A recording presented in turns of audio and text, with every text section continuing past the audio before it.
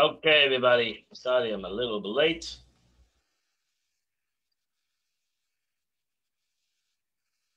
Okay, we're going to start the Chumash of the day. We're starting. Today is Tuesday, I believe. 14th day of Sivan. So we're holding on page, we're holding in chapter 9, the third reading of the uh, Torah on the portion of Baalotcha. Chapter 9, verse number 1. God spoke to Moses in the desert of Sinai. Bashana Shenis in the second year, Latesa Manitzrayim, from when they went out of the land of Egypt. Uh, the first month, Lamer Seing. First month, the portion at the beginning of the book of Numbers was not said until the month of Iyar, which is actually the second month. From this, you learn that there's no chronological order in the Torah. There's no general. There's no chronological order in the Torah. It's a very important thing to know that you cannot uh, ask a question on a time value or things that are written first and second or third. There's no. There's a general rule. There's no chronological order in the Torah. In the Torah. Why didn't Scripture begin this with this chapter? First, it's a disgrace for Israel that throughout the 40 years the children of Israel were in the desert. They brought the Passover, they brought this Passover sacrifice alone. So they only brought one time in the desert to of the Passover, did the Passover. After that, they didn't do the Passover for many technical reasons. They did not do the Passover in the desert for 38 years. Verse number two, Pesach, and the Jewish people did the Passover in its time.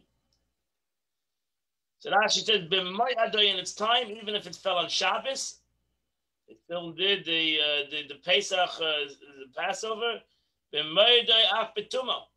Whether if they were impure, if the nation was impure, they did the sacrifice. There was only a single person that's impure, pure, he cannot bring the sacrifice. But if the if the community is impure, then they can bring the korban, they can bring the sacrifice. But verse number three, on the 14th day of the month. On this month, the month of Nisan, Bein Harbaim, in the afternoon, Tasu Oisi, you shall do the sacrifice of the Passover. The whole Klukav, all its statutes, and its laws. Tatsu oisa, you shall do it. Rashi says, these are the, when it says chukav, it's statutes. These are the commandments directly relating to the body of an unblemished male and its first year. The obligation to be a korban, a sacrifice on Passover has to be a, a male, a male animal, lamb that has no blemishes. And what are the ordinances? These are the commandments that relate to its body from elsewhere, such as the seven day for eating unleavened bread, for disposing leavened bread.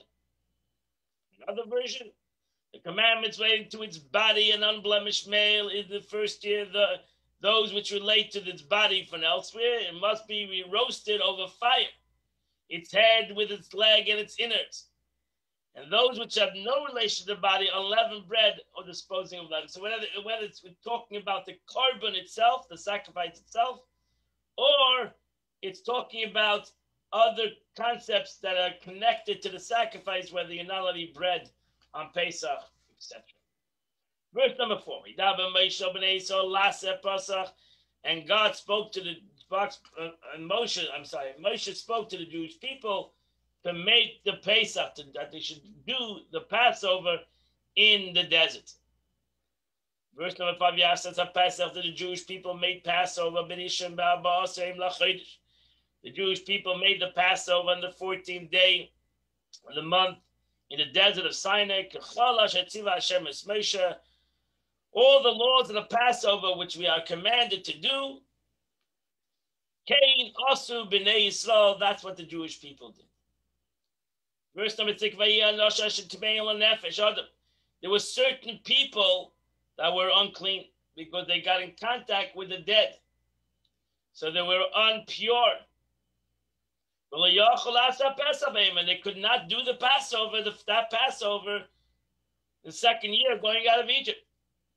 By Yikru, they came to Moshe and Aaron. That's what that mean. They were two sitting in the study hall. It must have been a Beis Medrash, a study hall in the desert.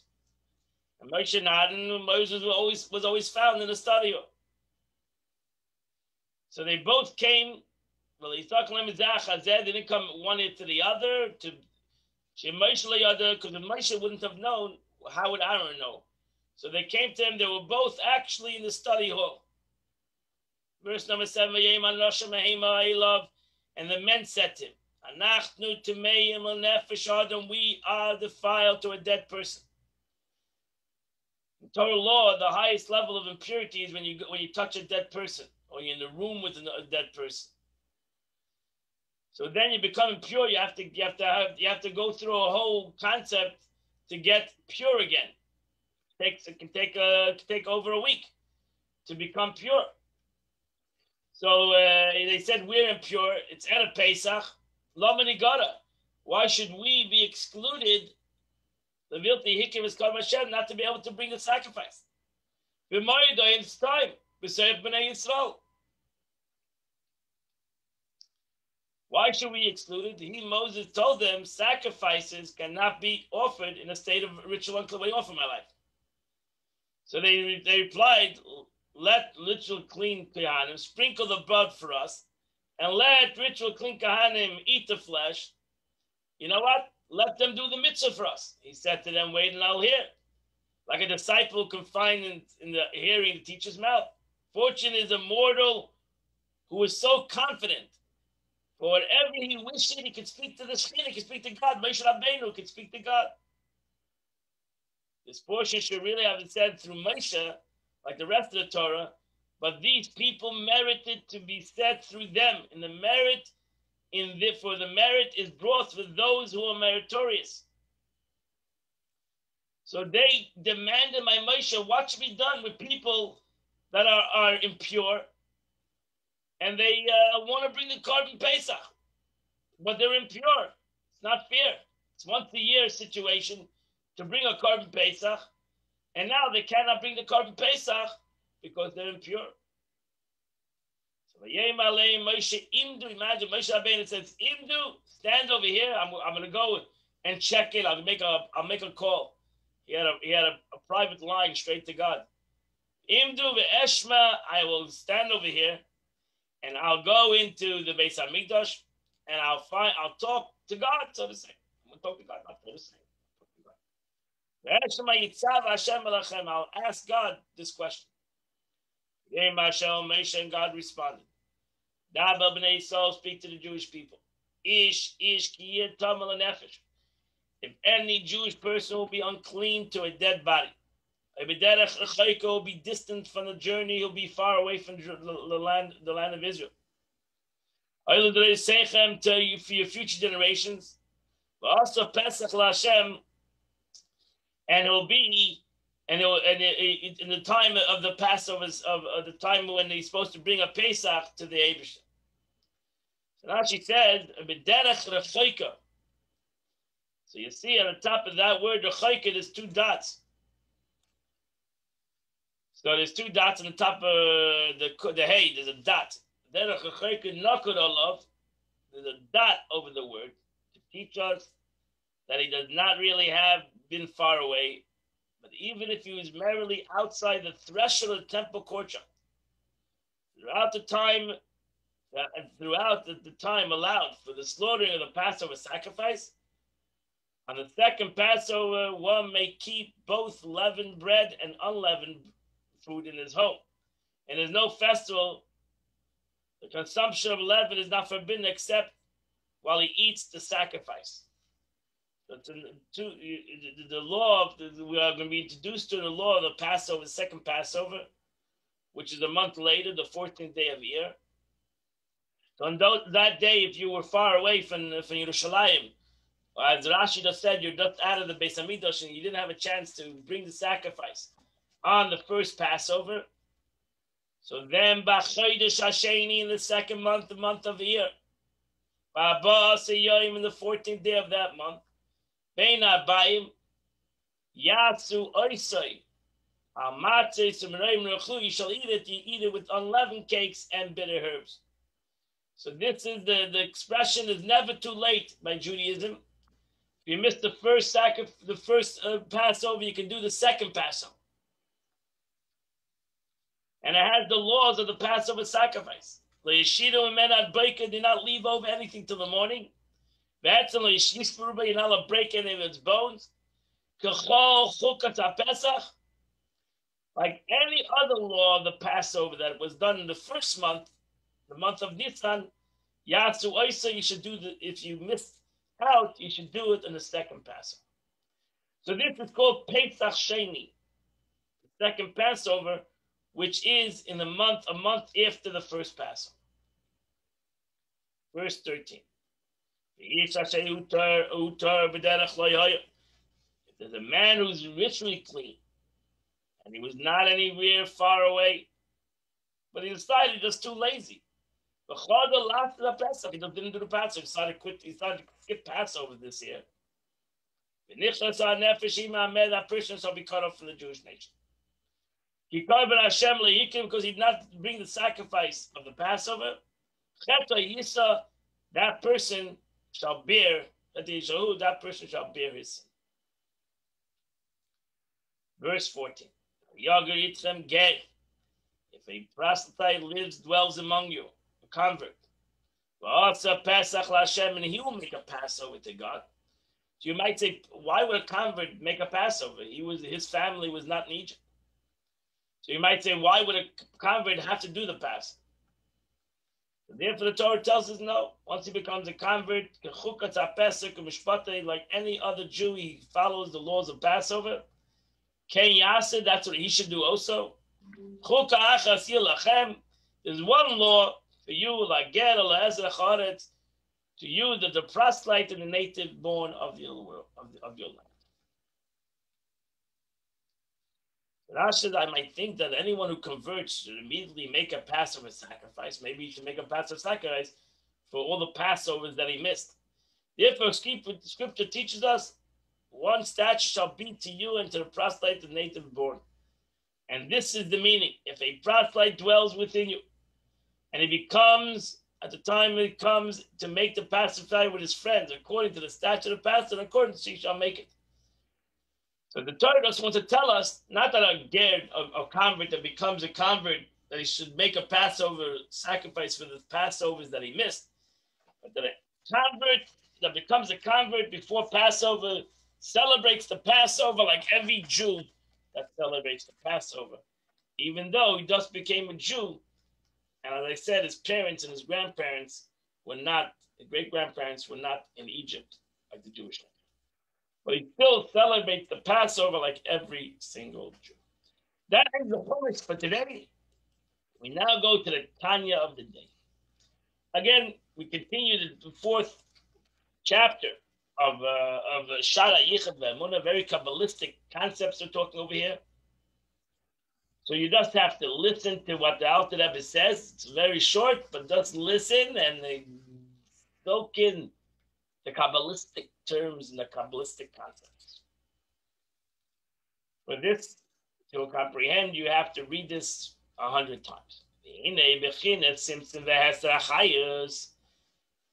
Tzimtzum, the contraction and the concealment of the life force, Nikra b'shem Kalim, is called in Kabbalistic terms Kalim, vessels.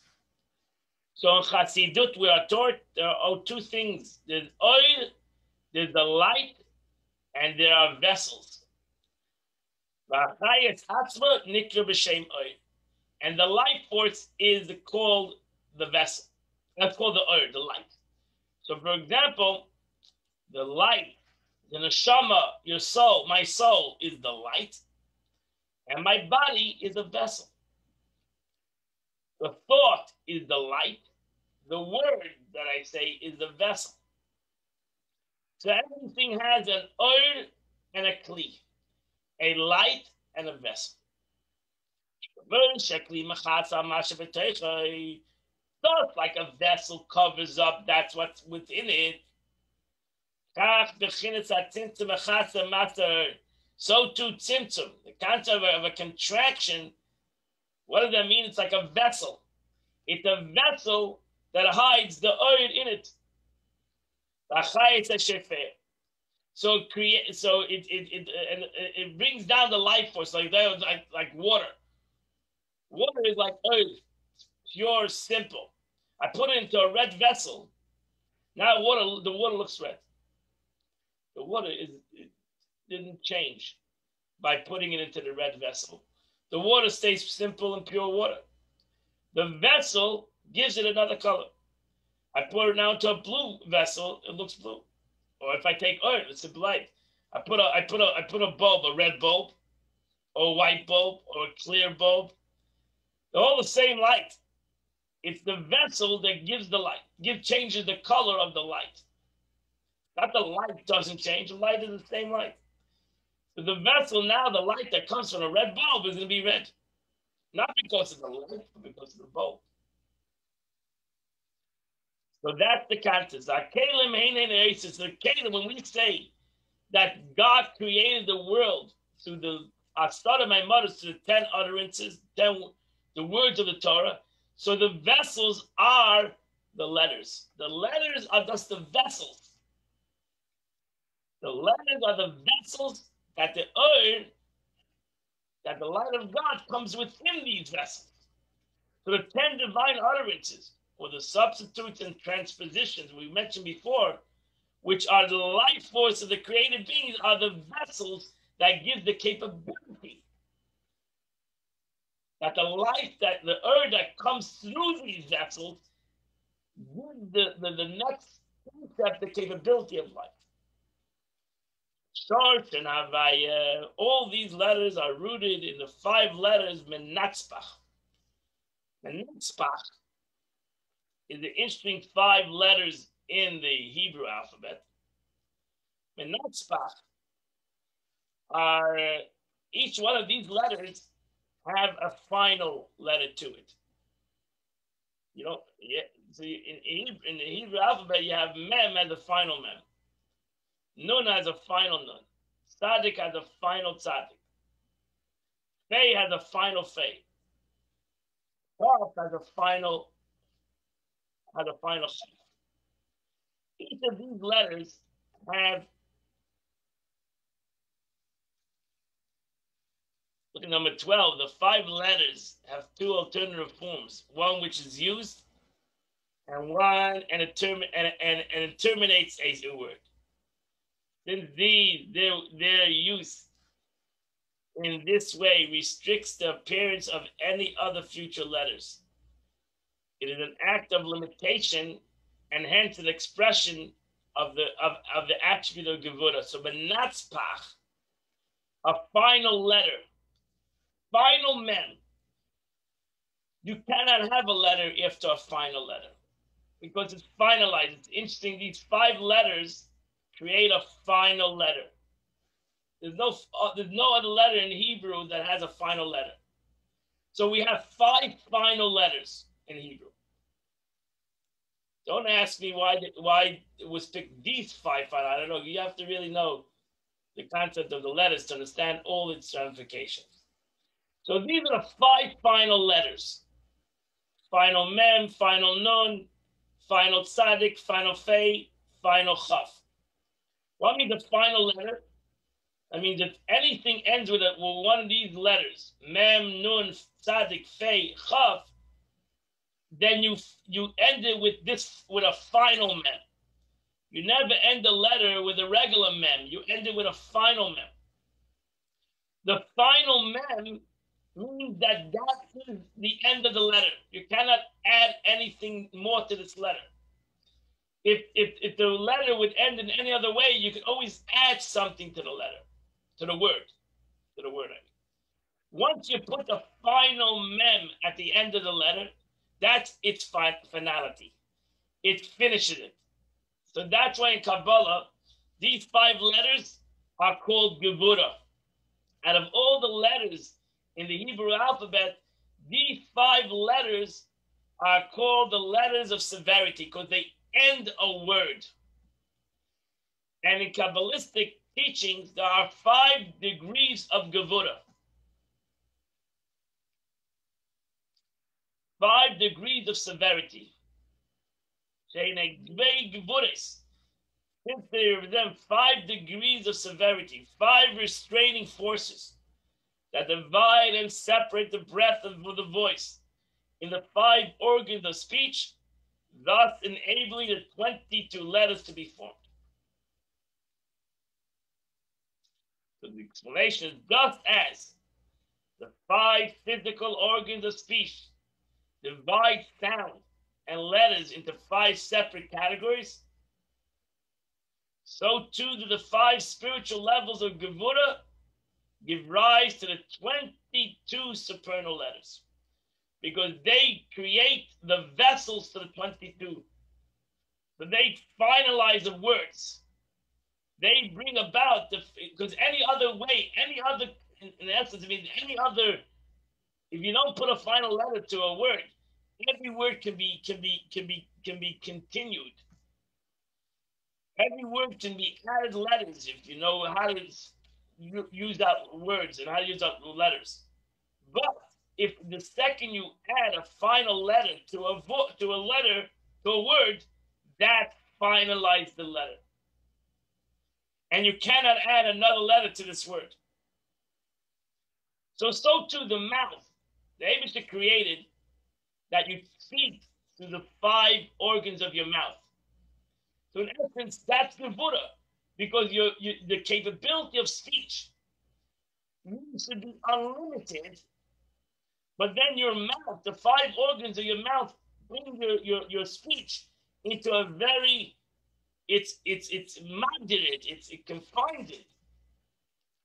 So that you that a certain part of your mouth gives out a certain Uh, uh, letters, and a certain your mouth gives out different different different letters, different words.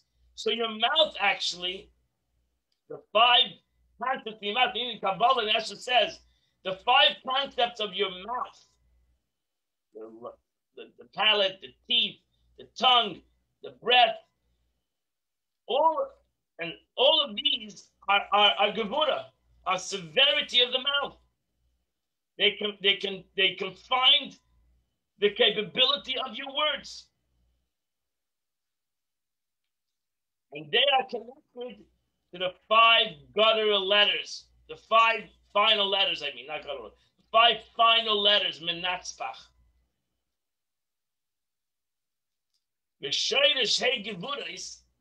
And the source of these five levels of severity, in term, in Kabbalah, is called Butzna de Kedusha. I mean, Butzna de Kadunisa, which are make for a little light from darkness. The darkness being a level of concealment that transcends the light. Number 13 over here, this concealment of light is the spiritual limit, limiting forces which determines the quality, quantity, and quality of light and energy in each world, sphere and being, thereby imposing all limitations and differentiation inherent in creation. So that is, in essence, darkness. There's darkness that we see, and there's a darkness that's really the, that's really light, but it's so light that it's dark.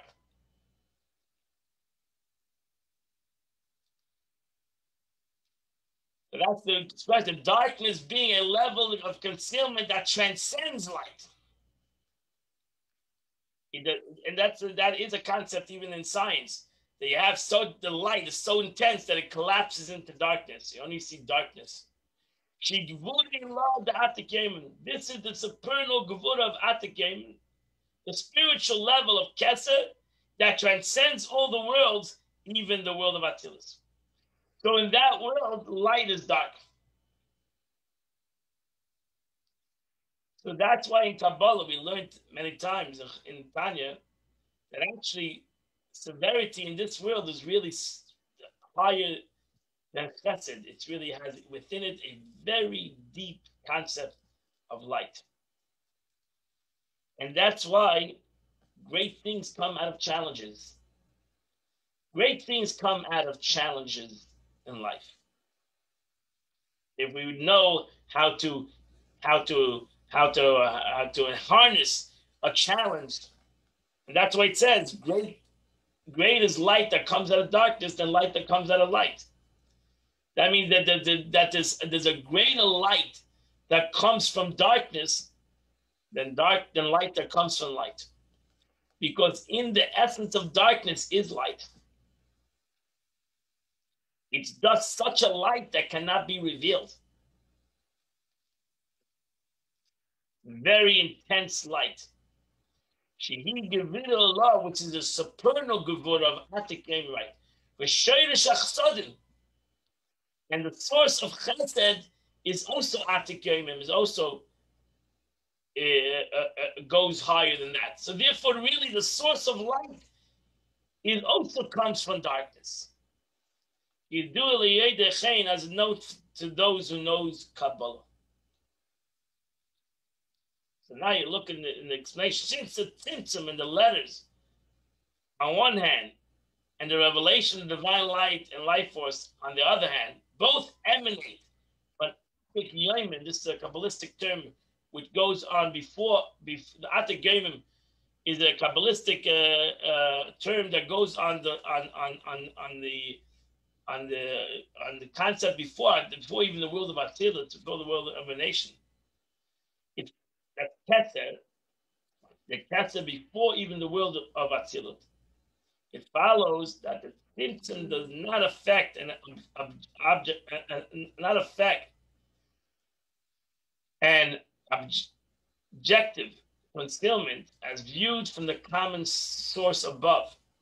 For as previously explained, no entity can conceal itself from itself. Thus, tzimtzum affect and is only felt by created beings who, because of their concealment, are unable to perceive the divine life force that continuously creates them. This is necessary in order for them to think of themselves as independent existence, a state which must be felt by them if they are, if they are to tangibly exist.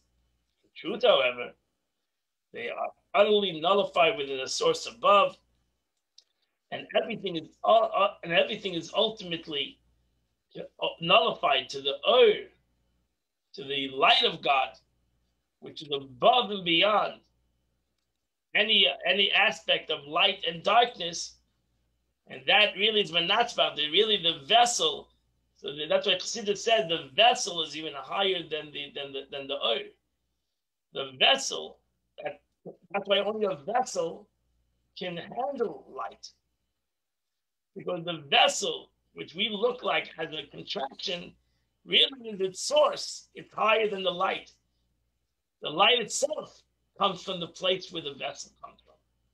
And that's why the vessel, the mitzvah, the body, that's why the body in, in, in Kabbalah has its has its place higher than, than, than the soul. The, the word has its place higher than the, than the soul is the Kabbalistic term. That ends the Tanya of the day. Uh, Uh, okay, so today is the 14th day of the month. As I said, this is the Tanya you got to read a couple of times to just uh, read it and read it and read it, and it slowly will uh, will uh, will penetrate. As we say the story of Akiva, he saw he saw a stone. He said, How I'm 40 years old, how am I going to be able to learn Torah? So then he saw a stone and he saw water dropping on it. And over many years, water dropping on a stone made the hole in the stone. So he said, if a, if a very water, which is light, can make a hole in a in a thick stone, then Torah can make a hole in my thick head. So by learning and learning and learning and reading it over and over, let the words of Torah slowly penetrate our heads, be able to even understand these very spiritual concepts in our life. But they're very powerful aspects, and they give us a lot of, lot of, they give us a lot of capabilities to understand these aspects in Kabbalah, to be, to be able to handle our life. Because to realize again that to realize that a challenge, very important thing of Siddur, that a choshech, which we look at as gevura, severities and challenges in life, actually come from a very, very high place. They come from a place that is higher than all the goodness that you can have in this world. They come from a place that are going to bring out your neshama. That's why a challenge is called in, in Torah, it's called a nisayon, nisayon, a challenge. But it, it also comes from the word nes, which is a miracle. And miracles happen when we can overcome our challenges, when we can overcome our darknesses in our life, and we can overcome the darknesses of life that we go through in life, then we we reveal a light that was never would never be here if it wasn't through this darkness. And that's why we're going through galus in general. Why did you didn't have to go through? Why did the world and the Jews have to go through exile? Because the light that is revealed through the through the, the, the challenges of exile is a light that would never be revealed without it. So that's the expression. greater the light that comes from darkness than the light that comes from light. So why? Because the light that comes from darkness is the, the darkness itself has within it such a deep light that cannot be revealed without going through this. And that's the teaching, that's in essence the teaching of today's Tanya. Wow. But the the, uh, the, the film of today, the chapter, uh, the today is the 14th day, chapter 72, 73, 74, 75, 76. So 72 to 76, and Tehillim the Psalms, and you would have done the Chitas of the day. Also, remind you tonight at 7:30, we're going to have a class in JLI in the Parsha of the week. I'll see you all tonight at 7:30. Can I ask a question for a change? You ask a question. Have a wonderful, beautiful day. Can I ask?